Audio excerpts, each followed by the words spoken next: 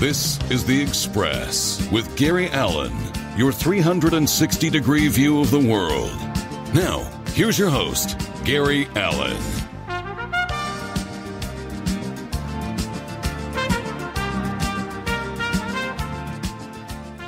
All right, ladies and gentlemen, good evening and welcome to this edition of The Express. Gary Alan with you. Um, before I introduce my guest and uh, talk a little bit of things, I just want to remind people you can go on Facebook to Gary Alan, A L A N, to say hello to me. You can also remember that on Thursday night at 7 p.m., this program repeats itself on our sister station, thanks to Renee, on Diversity Broadcast Network. That's diversitybroadcastnetwork.com. Also on progressivevoices.com on the demand channel. And I believe this Saturday, this show will be on 24 7 The Sound com in the morning at 5 a.m. And it also uh, goes out to uh, TuneIn and Google Play and a few other places uh, that are going to happen. Now, before I get into tonight's guest, oh, and by the way, the website is up. It is up. It's still, I got a little bit more to complete. I know this is like an eighth month project, the third person working on it, but it is there at GaryAlanTalkshow.com. So uh, if you want to find out a little bit about my background, for those of you that have been uh, listening to us over the years, you know as much about me as I know about me. But uh, I just want to also thank Randy Jones for tuning in tonight. I know he's out there listening in, as well as all of you for taking the time out of your day to uh, to join us. before I get into my guest tonight, which is uh, who is Natalie Moore, she's been with us before. I want to bring up something that happened to me on the phone today, and it's been going on now for a couple of months. I got a very strange phone call a few months ago uh, someone with a foreign accent, uh, Asian uh, actually, telling me that they were from Windows and that there was something wrong with my computer. Well, first of all, folks, if you get a call from anybody telling you that they're from Windows, you know it's a con job. Okay, because that's not the name of the of the company. That's the name of the product. So if you hear that kind of malarkey, just hang up on them.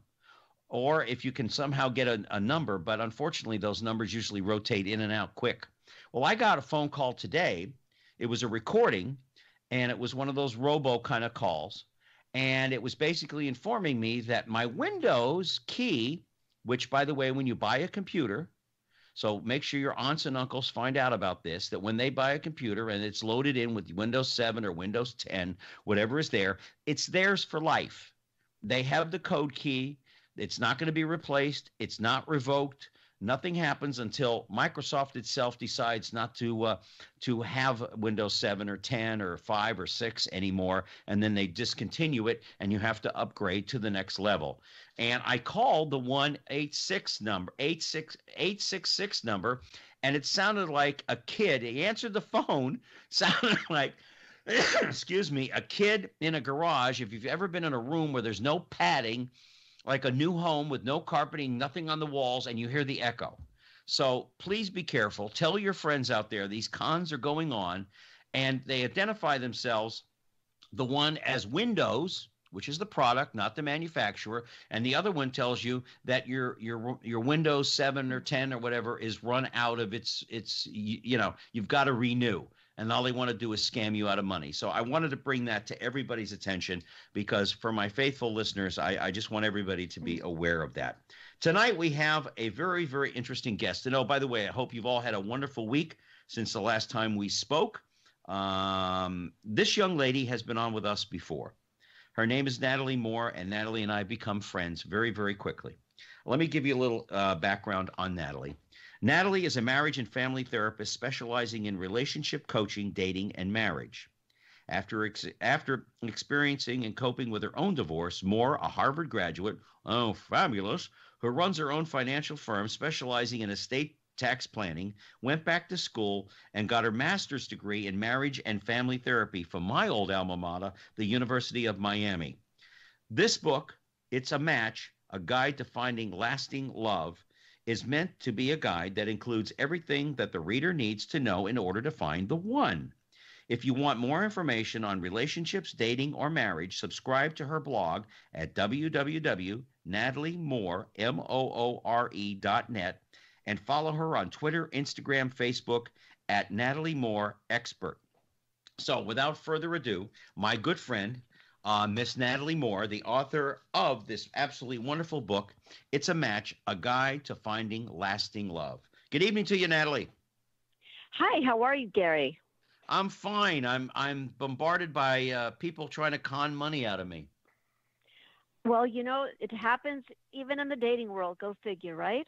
Yeah. Well, you know, and and the thing is that I was talking to somebody earlier this evening, a friend of mine who doesn't live far from you, my brother Rick down in Miami, and uh, he was uh, saying to me, he said, "Yeah, I mean, you got elderly people who don't realize that this is a con." You know, no, and it's, it's uh, terrible. It is, and it turns out to be that it's even the gentleman that answered the phone tonight, and I hate the stereotype, but he was Asian. I can tell the voice. I'm, you know, that's what I do for a living. I do voices and I do VOs. And so I can tell an Asian voice over an Indian voice or Pakistani or Filipino uh, or, or what part of the Asian world you come from. I can tell. And that's what's going on. They're ripping people off who don't realize that, you know, this is all a con job. All right, let's get to this magnificent book. We're going to cover a lot of territory since you haven't been on be- uh, for a while, and we're also going to talk about online dating, which I've always made that funny joke. Um, you said in, in your book, we uh, we are magnificent beings who are completely deserving of love. Um, yes, we are, but there are also people out there, Natalie, who screw it up every time they get involved in a relationship because of excessive baggage from previous relationships, which is, I guess, a number one reason uh, that they don't have someone on a on a regular basis that they can call a friend, even if it's not a sexual relationship, just a friend that uh, you know you can go to the movies with, have dinner with, so you're not so alone out there. Besides other friends you may not have, you may have or may not have. I mean, I don't have time for friends. I don't have time for anything.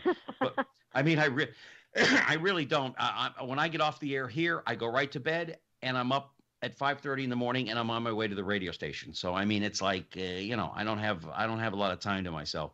But is that probably the number one problem with past relation carrying that baggage into new relationships? Oh, I think so. Uh, not only that, we come into when we first start dating, we already come in with baggage because we've been pre-programmed from the time we were little to mm-hmm. have beliefs about ourselves and different relationships and what you deserve and everything else. So once you start dating, you basically are attracting people who validate those beliefs. I mean, I found myself one day, you know, after dating all of these people who just didn't work out, I, I realized I was the common denominator in all of my failed relationships. Mm-hmm. So I had to ask myself, because I chose all those relationships, I said, what was it about me that made me continue to choose the same Mr. Wrong? So mm. it really starts by examining yourself. You know, what is it that if you don't believe you deserve something, you're not, someone good, you're not going to attract someone good. Yeah, that's you're to true. Put up with a lot of jerks, you know. Yeah, and, and unfortunately, women have to put up with me. So you know, it's one of those. It's common thing. Do you think we also go into relationships? I know that as a young man, um, I had a type. Um, right. Now, I, I, I, you know, I was talking to my sister not long ago, and I said to her, I said, Jan, you know, I've never dated a redhead in my entire life. She said, Well, Gar, mom was a redhead. And I never thought about it like that, but my mother was a redhead. She was dark red. Um, and every once in a while she'd color it red and she'd look like a fire truck going down the street. Uh, but you know, she'd get the wrong red. My mother was just, oh, I'll just grab it off. I'm busy. My mother was a very busy, busy, uh, busy woman down there in South Florida. But th- is that also a pitfall? That we we well, keep going back to the same type over and over and over and over again, dark hair, blue eyes, uh, whatever the case may be, and it turns out to be, no, it's wrong. Well, you know, it's even more than just body types. Some people do have a, a certain body type or look that they like, but they also have a personality style that they like. And so, generally speaking, once you have them describe everybody that they've dated of significance, and then they describe their mother and their father, they will find that they're dating people who have the qualities of the parent with which with whom they had unresolved conflicts. So they keep trying to date that parent in a sense to mm-hmm. resolve conflicts and have a better outcome in the relationship. So they are stuck on a type. and it's usually a type that doesn't work. You know, if you keep if you keep turning them over. So once you realize that and you know what you're doing, you can stop doing that. Yeah, they they say that girls marry their dads, and I've always now my one sister uh, is she's not going to marry. Uh, she was married, but her husband has passed on, and my other sister is married to a gentleman who's is pretty cool, but he's nothing like my dad. Um, and besides, I, I wouldn't want them marrying my dad or anybody like my dad. My dad was a pretty strict guy, but um, is that true? We marry our, I mean, for women, I don't know what they say for men. Do we marry our moms? If that's the case, I'm in real trouble because my mom was a disciplinarian. But um, is that true? Well, I, I really don't think so. I think uh, what what you do find is, for example, I had a case a while ago of a young man who kept dating uh, women who were abusive the way his father was. Mm and so uh, he kept trying to get a different result with from that relationship and and trying to earn respect from an abusive person which of course you can't so i think what you end up doing is marrying the one with whom you have some conflicts and huh. and it's of course subconscious because nobody ever wants to enter into a relationship and end up fighting with that person. But no. we try to resolve these conflicts. So no so no and unless of course you had wonderful parents and then and you admire your dad then you would choose good qualities like your father had. Yeah my father was a you know my father was he had a temper and so did my mother. They were both born on the same day and they were like two bulls in a china factory sometimes at each oh other i've got some I've got some statistics here that i i gave out the last time you were on and that is the first time marriages that divorce is 66% in this country second time marriages for one or the other the divorce rate is 75%. You figure you'd learn from the first one. And it even gets worse. It gets to be like 85% if you're if you're dumb enough to do it the third time. Um, is is is in your book you talk about uh, core values.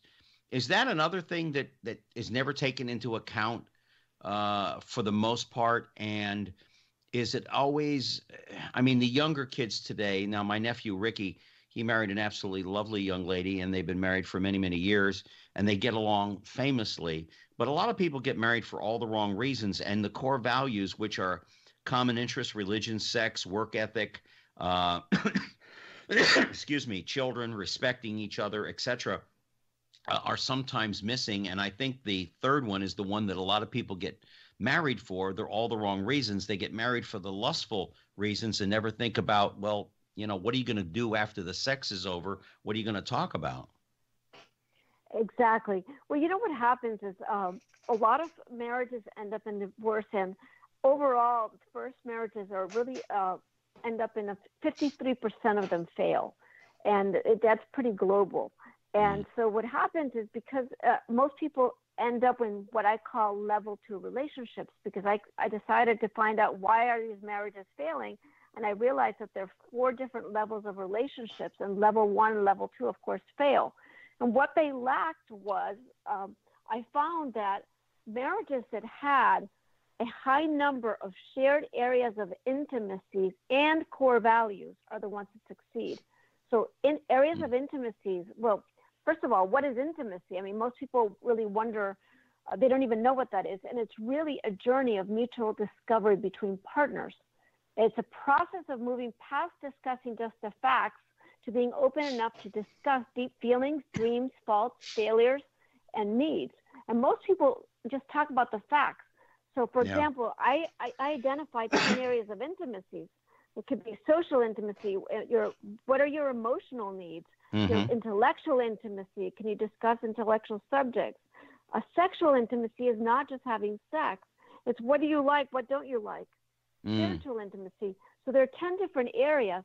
So if you have a high number of shared areas of intimacies and core values, core values are really the things that no matter what are the most important things in your life.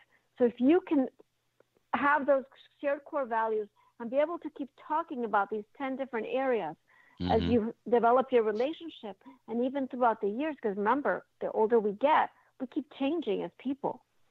Yeah, so that's true. You, you have to keep talking to your to your significant other. You know talking, about yeah. what changes. We're talking to Natalie Moore here on the Express. Gary Alan with you. She's the author of It's a Match, The Guide to Finding Lasting Love, um, which has been something I haven't been able to find for, oh, God. Um, and any when we talk about sexual intimacy, you know, the, I, I, I often have talked to many of my friends who have been divorced or who got divorced or who are having trouble in in the bedroom and sometimes what goes on in the bank account also has to do with what's going on in the bedroom but a lot of people i have uh, talked to have problems communicating even with their spouses who have been married for a number of years as to what they really want what really pleasures them.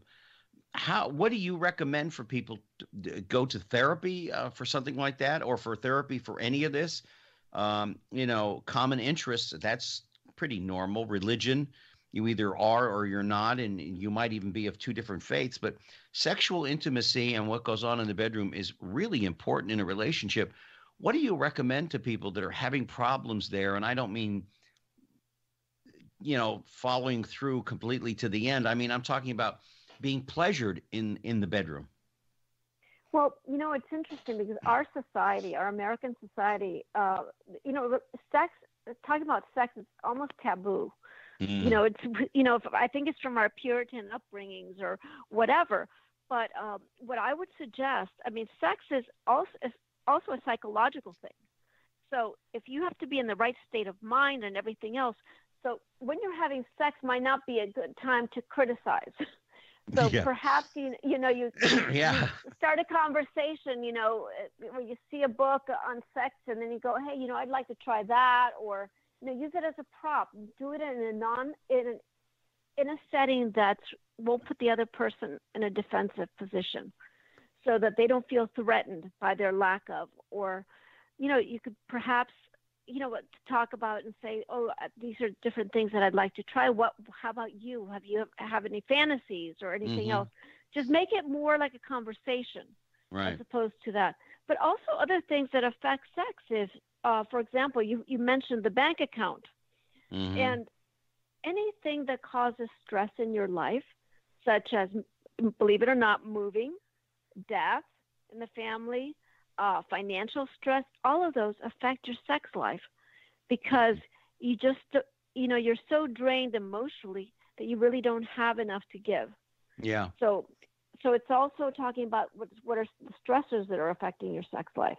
Yeah, you and I have often talked on the phone when I've just called up to say hello, or I just wanted to confirm that you were going to be on. And I know we we always usually talk for a while, and and with me, it's just like you know, I work in radio. It's like minute to minute stressful, one situation after the other, and I'm trying to find a balance. And and lately, the last couple of weeks, I've been feeling blah. You know, I mean, no energy, no anything, no nothing, and it's just we've been going through some changes at the station, and I can and I definitely understand where you're where you're coming from with that.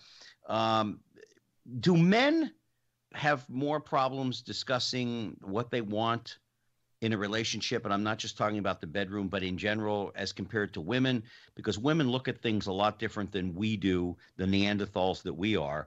Um, do, do do you ladies look at things a lot different, and you're able to communicate those things better, or does it go back to the old thing when I came home many times and I'd look at my wife and I'd say, "What?" She says, "Well, if you don't know, I'm not going to tell you." That's so frustrating. Um, it is. You know, ge- generally speaking, women are taught to be more emotional, but I think our culture has progressed to the point where men are also, you know, able to speak about their emotions and and and what they want. So I think, I mean, when you say to somebody, "Oh, well, if you don't know, then you're in trouble," then that means that you also have a problem, you know, in intimacy. If you can't talk about emotional intimacy, mm-hmm. you know, so I th- I think um, you know, it's a difficult thing for us to be vulnerable. And so when we when we're asked when we're not feeling very comfortable with the other person because we've had all these resentments, mm-hmm. it's, it's harder to expose yourself, unfortunately. But I think that men and women feel it differently. Mm-hmm. But you know, that's why uh, John Gray wrote the book uh, "Men Are from Mars and Women Are from Venus" because we do have different styles. Oh yeah, absolutely. Do you find the younger generation a little easier on the uh, conversation as to in a relationship do you find that they communicate better than say our generation?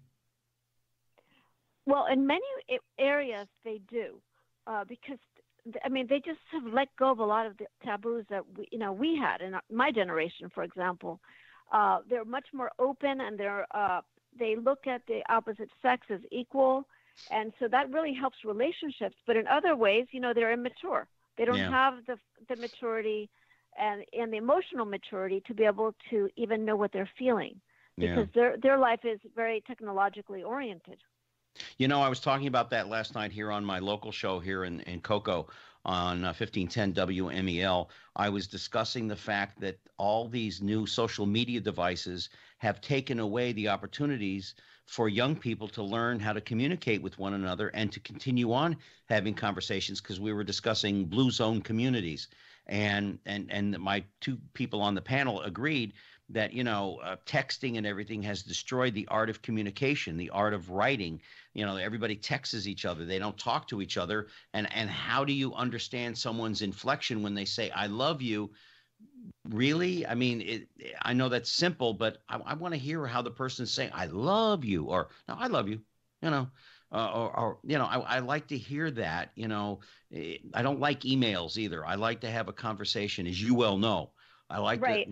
to I, I like to talk to somebody to know you know what's the inflection because that can change a conversation. That could that could change in a relationship and i think all these social media devices have really ruined the art of communication and the ability for the young people to communicate with one another and get their message across well, you know, it's funny because you, oftentimes I go I go out to dinner and I watch couples. They're playing on their phones instead of speaking. And yeah. the other night I was out with my son, who was 28, and he was watching this and he said, "Ah, this is the degradation of primary relationships," as he said. Well, he uh, said you know, he certainly put it better than I did. That's for sure. And better than I ever did. I can tell you that. But I thought it was so funny because I mean, here they're out on a date at these great mm-hmm. restaurants. They're not even talking about the food. I mean, they're sitting there on their phones looking at whatever. So, I mean, how, how much intimacy can you have when you've got this, you know, never mind, you know, texting each other or whatever. These people mm-hmm. are texting other people. So they're yeah. not even present with each other. I mean, it would it would be interesting if they were texting little uh, little naughty naughties back and forth that they don't want anybody else to hear. That's one thing, but yeah, I've often sat at or watched people at a restaurant, and they and they. But in this case, one time they were talking to each other. They didn't know how to talk. I know. They only well, knew how to deal with social devices. Well, that's exactly it. And that's when I whip out my little list of 10 areas of intimacies. Okay, you want to have a conversation? Let's tackle this one. Mm-hmm. You know, mm-hmm. how do you like to have affection shown to you? You know, or, or whatever. You know, you can, everybody likes to talk, to feel heard. So when yeah. you ask somebody about what they want or what they like in different areas, I mean, they want to talk about it. Yeah. So I, it's, I, I it's think, time to rediscover your spouse or your loved one. Yeah, and I think when you go on a date with somebody the first time, leave your damn cell phone at home. That's you know, right. leave it at home. And if if if you're if the person you're with has one, say, you know, can we put that aside? You know, I, I did. I went out with a girl in Vegas. Natalie, I'm telling you, we're talking to Natalie Moore, the author of It's a Match, a guide uh, to finding lasting love. Uh, you can get more information about Natalie by going on nataliemoore.net. She has a wonderful blog on there, as well as on Facebook, Twitter, and Instagram. She's a dear, dear friend of mine. Uh, at least she went to one college that I like, the U. Um, Hmm. Although Harvard wouldn't dare accept me, that's for sure. But I went out with I went out with a young lady in Vegas. She was an agent, and we we we we were attracted to each other. But every five seconds, while we're sitting at there having dinner, the the phone would go off. And I finally said to her, I said, "Look, can can you just kind of turn that off and put it away for a while?" She said, "You know, I wish I could, but if I miss one of my boss's calls or something, I'm in real trouble. And then about two minutes later, she said, But you know, the hell with it. It's 10 o'clock at night. You know, whatever it is, it can wait till the morning. And, you know, um, I think sometimes people are afraid to say to each other, Would you put that device away so we can actually get to know each other? And even if you do know each other, we're on a date. Let, let's shut the rest of the world out and think about you and me for a moment. No, I agree. I think the phone, I mean, the cell phones, uh, create a compulsion in people just to answer them. Oh, yeah. I mean, how many pe- times do you see people just like holding their phone and just checking emails every two seconds? I mean, nothing much has changed, you know, from the last time you looked at it. And yeah. something like so. w- What I always did was, um, I c- I would turn my phone in silent, but I would keep it out, and I would Mm. only answer it if it was one of my my two children, and because and only because I knew that there would be a problem, because they, if they knew I was out, they weren't going to be calling me just for nothing. So that I always said I don't answer the phone unless it's my kids, and then I get them off as quickly as possible. Yeah, I mean, because So- you're out having fun with people and you don't want to be Right. bothered. You know, you the, Right. the nine, the nine to five world is gone. I'm now out with my husband and I'm enjoying life and and uh, all all the stuff that that that goes along with that. Uh, I just wish I could find somebody. I just don't have the time anymore. I know you've always told me, Natalie, but Gary, you can find the time, and um, which is going to bring us to our next part of this discussion. But wait a second, Uh, hold on. Let me intercede yeah. here. Yeah. The fact that you don't that you don't make the time also indicates that some part of you really doesn't want to be with someone because where are you going to fit that person in? I, I that's true. I mean, it's true. And and and since I moved over here from Orlando, I've certainly met a number of ladies that I would like to date. I did go out on a date, uh, but she was busy. I'm busy, and just we just don't have the time. Uh, and, and there are other people I meet. I get a phone number, and then I realize I don't have the time for this. I just, you know, I get I get one day off a week um, because I'm up very early, and I even work on Saturdays. I produce a show and I just don't have the time. You know, as soon as I'm through with this show tonight, I start working on next week's shows, and and you know, and, and I just you know, and maybe I just don't want to make the time. I don't know. I I know that I know that you and I've talked about this before, Natalie. That I'm just not looking for anybody. You know. I think that's probably more accurate because you do you have lunch, you have breakfast, and Mhm. per- and dinner. So even if it's for an hour, you could you could make the time if you really wanted to. Yeah. And so, uh, I mean, I I had a case where a young lawyer was telling me, "Oh, I really want to find the one, but you know, this this is my my schedule." I said, "Okay, well, where are you planning to fit in this 80-hour week that you have? Where are you planning to fit in your date?" Well, I don't know. So then I said, "Well, then I don't think you're going to be finding anybody because you don't have a, a place in your life." So that's something to really examine. Are we really scheduling ourselves out you know, uh, and preventing ourselves from having a love life, Mhm. or do, or does it mean that we really don't want one? We just say we do. Yeah, I, I think we get comfortable as you get older because you're looking for certain things that you didn't when you were 20 and 30 years old. Right. And I think you get kind of set in your ways and you get into a comfort zone and it's sometimes hard to get out of it. Now, I, I'm certainly look. I mean, I really, if if I met that right person, I would make the time. That may be part of it too. I'm older, and I'm just not looking for the bada bing, bada boom kind of a relationship. I'd like to have some. excuse, excuse me, folks. I've had Well, trouble with bless a cold now for a couple of weeks. Um, I'm looking for somebody that's a little bit deeper than just the uh, bada bing, bada boom, and oh, let's go to the movies and stuff like that. And maybe that's part of my problem. Which brings up the next part of your discussion that we've been wanting to get to, and we we've skimmed it the first couple times you were on, and that's uh, online dating. And Right. I have I have, as you told, as I told you, I have seen many of my friends do this. I have also uh, I've never tried it. I made a joke about it once that you laughed, and so did some members of the audience because I heard from them later when you had asked me off the air if I ever tried online dating, and I said, "Bada bing, does watching porn count?" Of which it doesn't. But right. but but actually, for some people, that is their dating. I, I have come to find out. If you take a look at the five billion, I saw something online, five billion dollar industry in the United States alone is adult And entertainment. and you know what? The best thing is you don't have to interact with anybody. No, So, th- No. so that person who you're fantasizing about never has never has a bad mood. You know, is always looking beautiful. Everything else. Uh, you know, that's the problem really with porn because Yeah. a human being can never live up to that person who always looks great and is never in a bad mood. Yeah, I think if you keep it in perspective, like watching movies, as I did as a kid, and then realizing when you grew up that life isn't really like movies, there may be a lot of similar scenarios, but but the outcomes are not always so grand and the uh, you know, as you may think.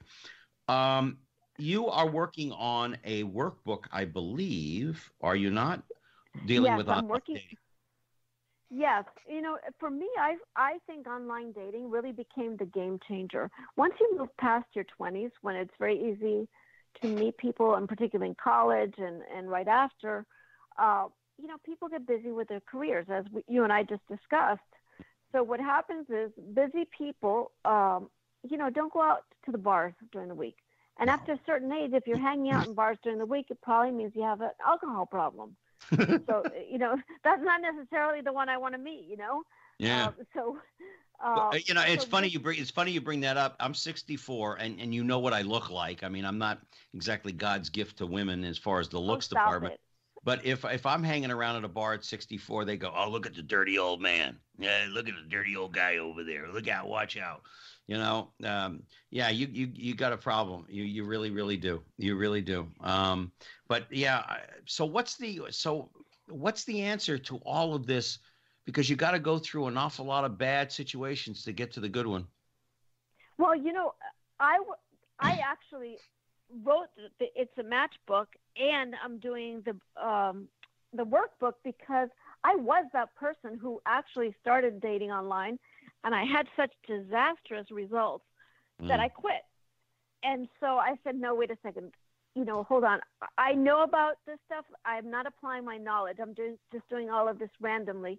So then I started like making figuring out the science of this and analyzing the different aspects yeah. so that I could be successful. And then I decided to share that with.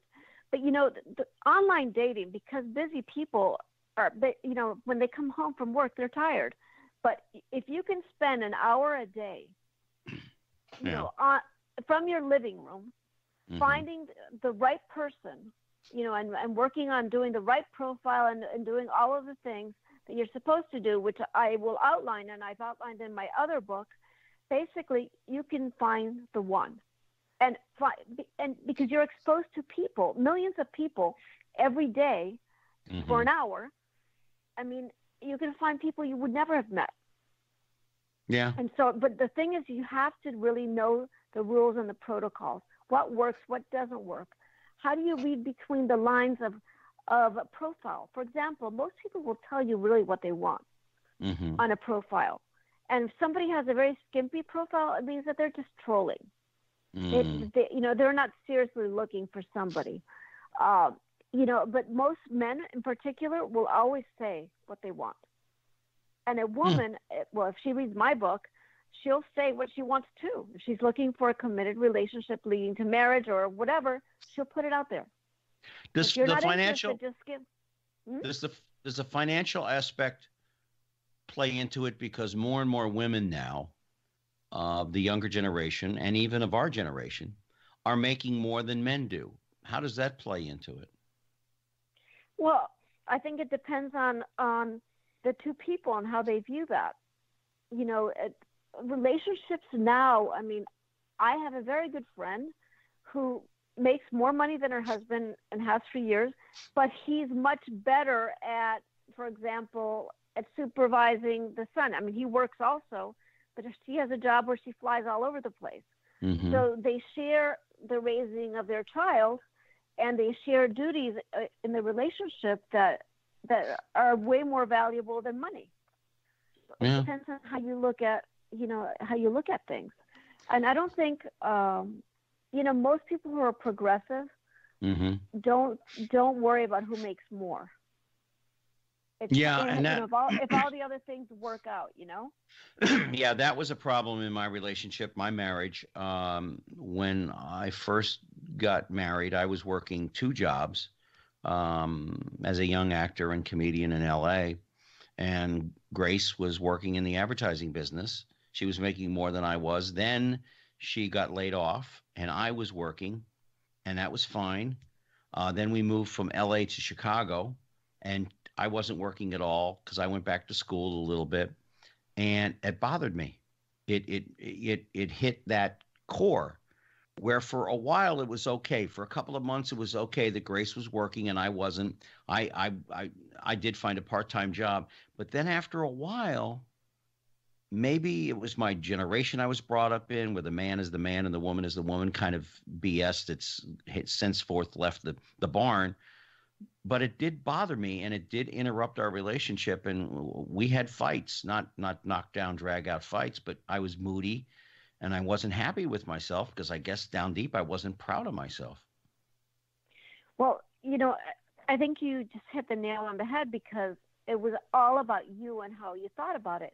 Mm-hmm. And if I mean, if you were doing something else and you had discussed with her, I'm going to go to school now. Is this okay? Can you, you know, can you right. carry us for a while? And she agreed with it. Then I think that it was really all about you.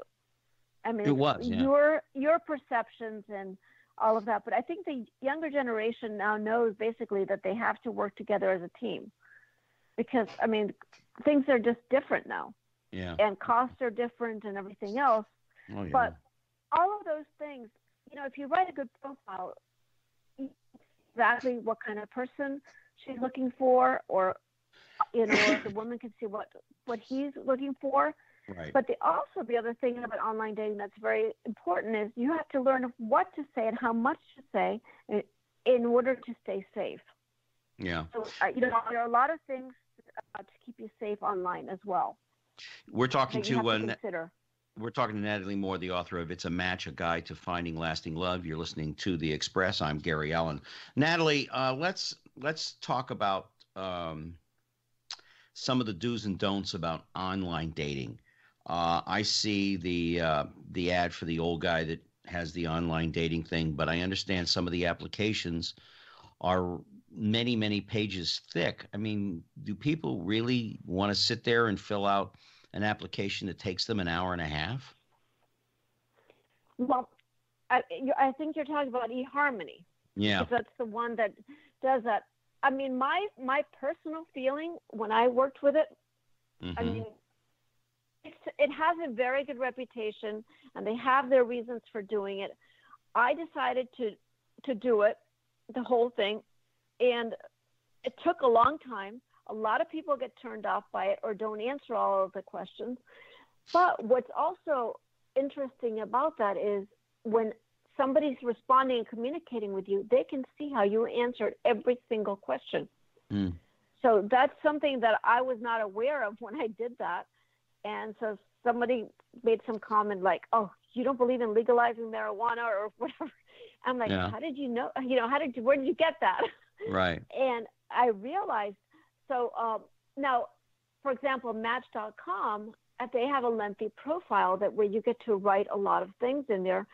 And I think that if you're seriously looking for somebody, you're going to take the time because mm. you you don't want to waste your time.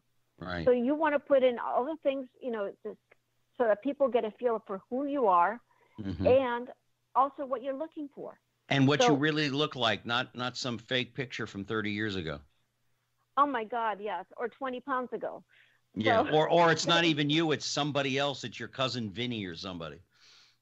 That's right. Well, usually what I, I mean, obviously I went on a lot of dates and stuff when I was writing, when I was researching my book and everything else, and uh, I kept hearing stories. I mean, that were just, I mean, amazing about this, and I don't know how people really think that mm. they're going to get past. You know, the basis of any good relationship is honesty and trust, right? So if you start by lying, by not divulging that you're really 20 years older, um, I think that that's a bad pro- that's a problem.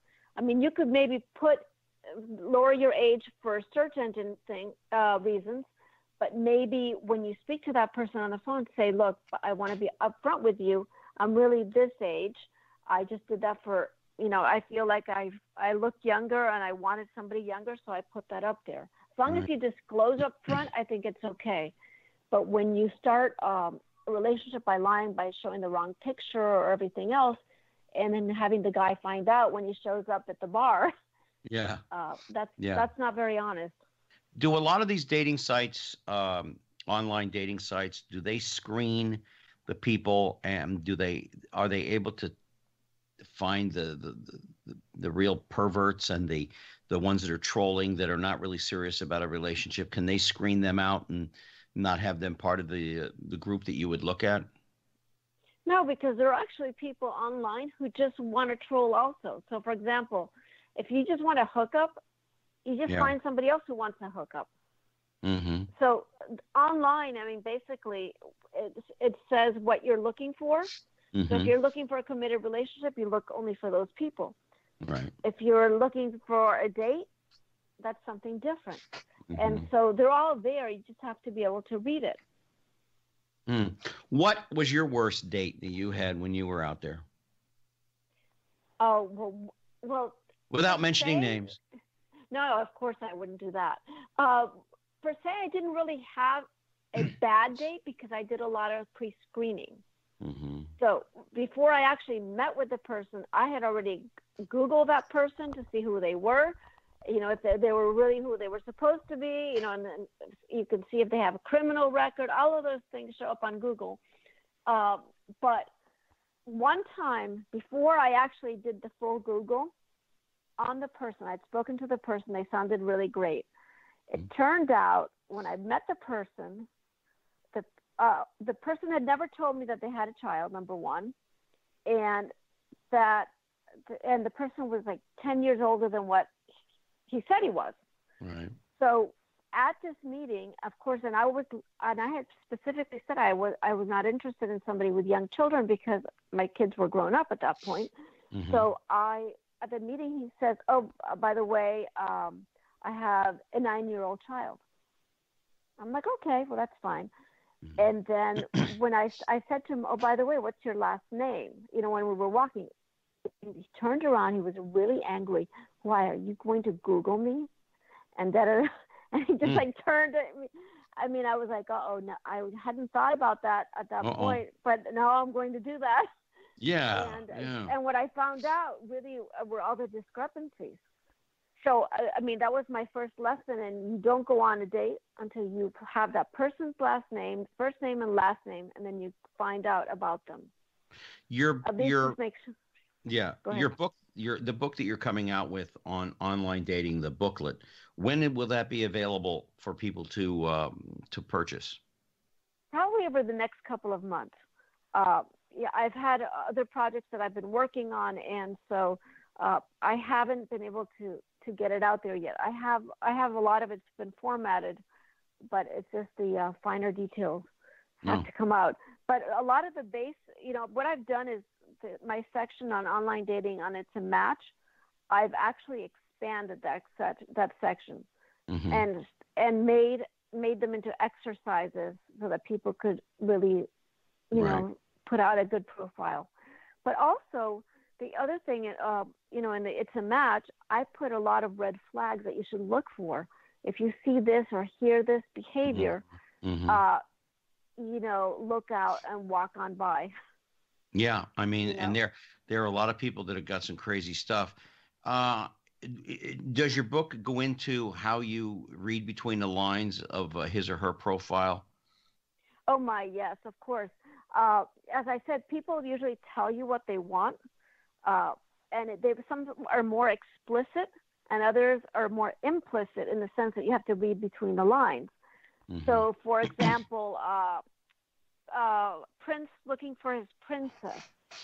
You know, when somebody says that, and believe me, there are a lot of there are a n- number of profiles out there saying that. oh I God. mean, this guy is looking for a damsel in distress that wants to be rescued, or uh, you know, I mean, you see all of these things, and they're Mhm. um, and it, it's just really amazing what people put out there. And so It- I it- have the red yeah. flags and how to read, and I take certain, I take profiles and excerpts of profiles, Mhm. and then explain them to you what they mean. And what's what's the most dangerous part about online dating? If there is well, I such a think it. I think it's also. I mean, obviously, there are there are cons. Look, online you find what is offline. So just like you could meet somebody in a bar who's a con man, Mhm. you'll find that online as well. So basically, you follow the. You don't put, for example, I never put.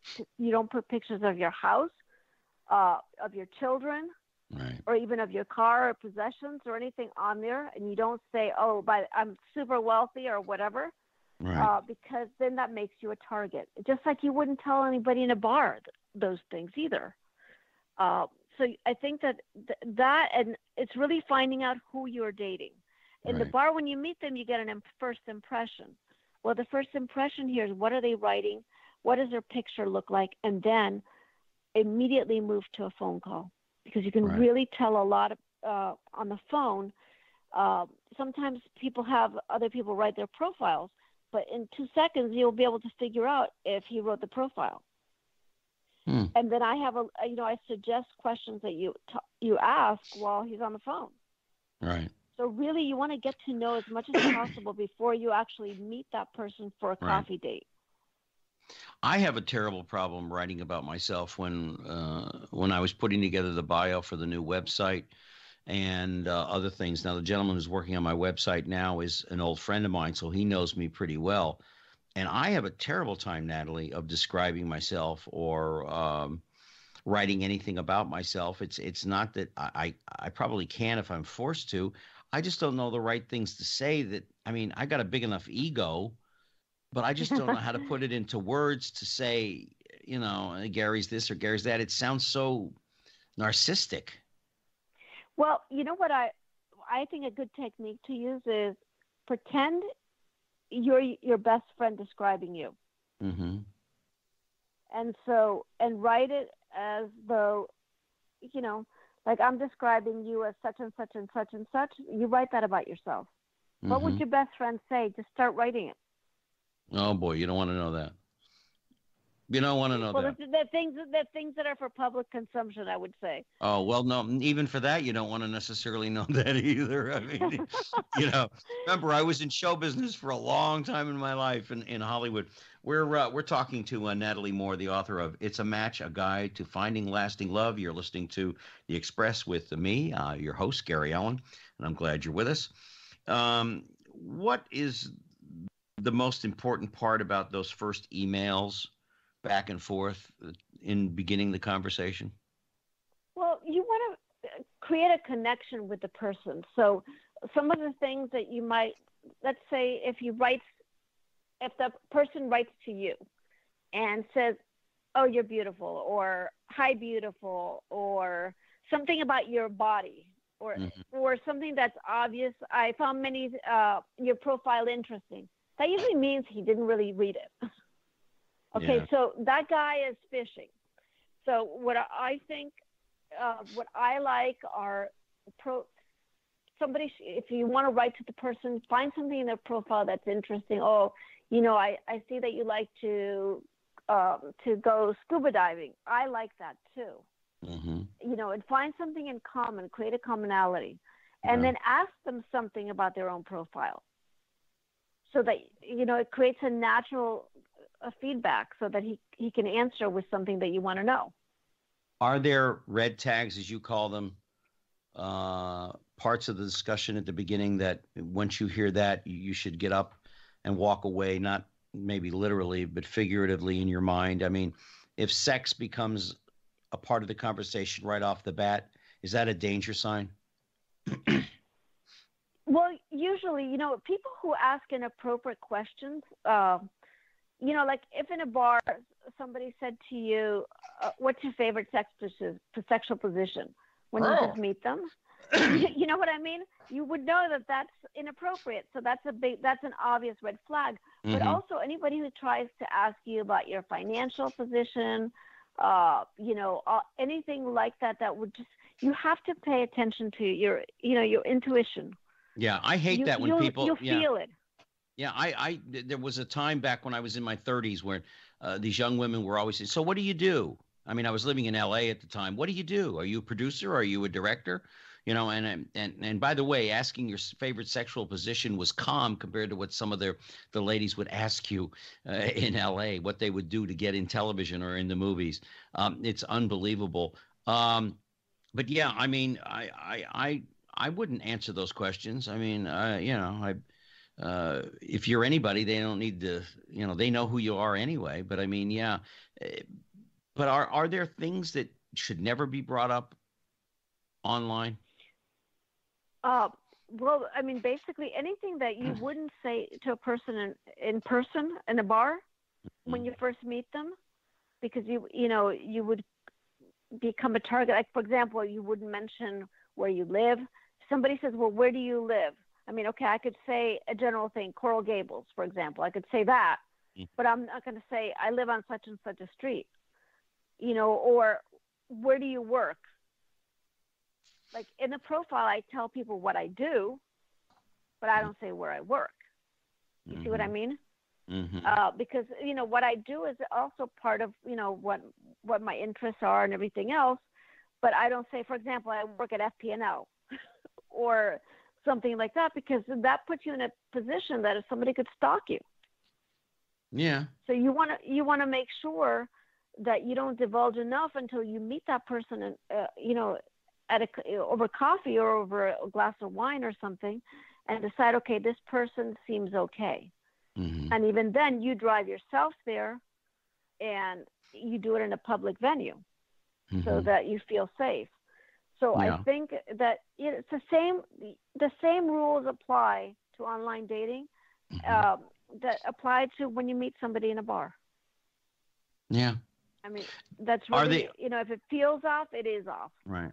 Is online dating also ideal for people that are high income, always on the go, workaholic types? Oh, of course, because it's the most efficient way to meet people. You you know, as I said, in an hour a day from your living room, you can be looking at millions of people. Yeah. And you can be culling through them and so, for example, eh, you if once you learn how to do, use a search engine, you can put in a whole bunch of variables and have the search engine find people who meet all that criteria. So therefore, I'm sorry, I've, I've got a cold too, so my voice is going. Uh, yeah. But uh, so once you have those people, it's a lot easier than going into a bar and you know trying to find people who meet all that criteria. So it's more are efficient. are there websites are there dating sites that you say stay away from like i would never answer anything on craigslist. Uh, oh no there, of course not. I mean are there uh, who do we who do you recommend? I mean someone comes to you a friend of yours and says natalie i want to try this uh, what are the two or three or one websites that you recommend for that i could feel safe and secure on to a certain extent um, and oh, and and one thing that just just came to me: what bit of information should you never put on there, even though they ask for it? Is it your income level or anything like that, or should you just kind of give a generality? Well, usually the questions that the that the site asks are good questions, and you should answer them. Mm-hmm. And but you know, trying to be appropriate. Uh, the income levels they ask about brackets. Uh, ah. you know, they give you brackets, and I think the top one's usually like over a hundred thousand or something. Well, so I'm it's out. not like they're asking you. No, but it's not like they're asking you to make over a million dollars or something. Mm-hmm. You know what I mean? Mm-hmm. Yeah. So, so it allow, So I think it's it's good to answer all of the things. Uh, again, you know, being careful because everybody's reading it. Um, I and I think that the site that you use really depends on your age. I think for anybody really over 30, 35, or even 40. Mm-hmm. I, I, the big ones, uh, Match.com, OKCupid, uh, eHarmony. Uh, mm-hmm. Those are really reputable. They have huge uh, audiences. So what you want to make sure is that they have a lot of people, a lot of people and they give and, area. and they give you yeah they give it's it's broken down into your area. Obviously, you're not going to want to date somebody in Houston, Texas, if you live in Miami, Florida. Right, exactly. Unless I don't mind traveling a lot. Or you're or or you work for the airlines. Exactly. And so I mean I had a girlfriend who, in Miami who met her significant other on Match and he lived in Germany. And they they visited each other a whole bunch of times and he moved to Miami um, to get to know her and they've been married for a long time now. Well, there, there's a culture shock. Germany to Miami. That, that's a so, that's that's a real culture shock. We've got uh, about uh, six minutes left uh, in in the program. Um, Natalie, when you know your book that you wrote, "It's a Match: The Guide to Finding Lasting Love." How many people who have read this book have contacted you and said, "Yes, thanks to you, I was able to find someone in my life that really I love and adore? Well, many it hasn't been out long enough to develop a full relationship, but many people have written to me and said, "Oh my God, I, I wish I had known all of this like a long time ago." Mm-hmm. Because, and really, I mean, I, I wish I had known everything that I know now when I was in my twenties, because yeah. it would have saved me a lot of. Yeah, lot don't we all? Yeah, don't we and, all? Yeah. Exactly. And so what I wrote on there were things that, as a marriage and family therapist, that patients would ask, and pro- mm-hmm. and and the same pitfalls that I saw everybody falling into. I wrote this. I gave uh, I give relationship advice. You know, how do you manage? How do you argue? All of those things are in that book mm-hmm. because it's after you meet, me, uh, it's really about finding, getting, and keeping the person. Right. So once you get the person, you have to keep them. So I well, give you those tools as well so that you can yeah. have a successful relationship. We're talking to Natalie Moore, the author of It's a Match, a Guide to Finding Lasting Love. How would you describe if someone said, uh, give us a description of a loving, lasting, healthy relationship? Well, I would I would refer them to my chapter on the four levels of love, mm-hmm. and I mm-hmm. would say read about the uh, the level three and level four relationships, where basically they have a high number, uh, a high um, their shared areas of intimacies and core values are great, and as well the and the fourth level really has almost like like a soulmate kind of component to it, like you just know. Plus, you have all those other things to back up your relationship. So I something that I call almost like your divine partner. Right. So that's right. the fourth level. But the third level is, you know, basically the high number of shared uh, areas of intimacy and core values. And right. then, of course, I mean, all the things that fit. Like when you're already, when you're past 30s and you're more set in your ways, it's also how well do you live together. Mm-hmm. You know, your habits can make you or break you, unless you are easygoing and can tolerate a lot. Yeah. What so, do you want people to take away? We've got about a minute and a half left. What do you want people to take away from uh, this book? That finding and keeping lasting love is possible for everyone. And I promise you that if you do everything in the book, you can find your lasting love. She's Natalie Moore, a good friend of mine. She's the author of "It's a Match: The Guide to Finding Lasting Love." One of these days, I hope I hope to do that. Natalie, thank you so much for joining us here. And Thank you. I'm so glad we were able to connect this time. The last few times, uh, something kind of got in the way each time that we couldn't uh, couldn't have you on the program.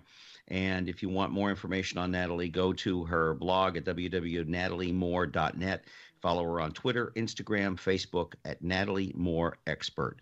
Natalie, God bless you. Thank you. And tell that handsome husband of yours that I send my hello. And I wish Thank you all you the best. Thank you so much. I really appreciate it. Have a lovely evening. Bye bye. You too. Bye bye now. And I want to thank all of you out there for taking a few minutes out of your day to join me here on the Express. It has been really fun to be with you tonight. I apologize for my voice a little bit. Again, don't forget on Thursday night at 7 p.m., Diversity Broadcast Network uh, repeats this show again. Go to Progressive Voices. YouTube will have it up on Friday. It'll also be on, uh, on a couple of other networks as well as. Uh, it, will be on 24 7, uh, thesound.com. So I just want to thank all of you for taking the time out of your day to join us here on The Express. It means a great deal to me. And for all of us here, and EW, thank you so much back in the studio. And until next time, please take care of yourselves and each other. You've been listening to The Express with Gary Alan. Join us here every Tuesday night at 10 for more captivating talk with Gary Alan. See you next time on The Express.